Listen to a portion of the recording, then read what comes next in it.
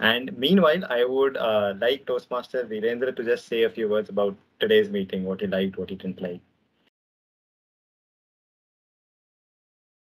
Am I audible? Yes. Yeah. Uh, good evening once again. Uh, I really could take a lot of, uh, you know, uh, I could I could take a lot of things from this meeting. Especially, uh, I kind of I also noticed a new thing like there is evaluation for the table topic session as well. So I would I would definitely ask the president of our club as well to include that because he is a mentor of mine as well. Uh, yeah and I could see you know uh, guests as well involving the team, which which is also a nice thing. Yeah, that's all. Thank you, Toastmaster Veerandra. Great speech and great effort participating in table topics. Really appreciate it. Good work. I would also request if Lakshi is still there, if she could say a few words about today's meeting.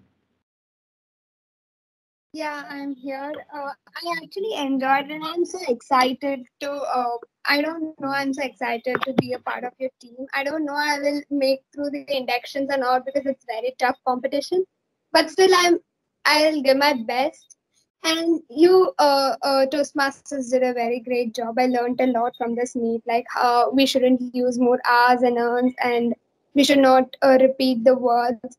Uh, we have to be crisp uh, in what we talk and we have to uh, uh, i mean order the words and say uh, uh order our um, thoughts and uh, convey it properly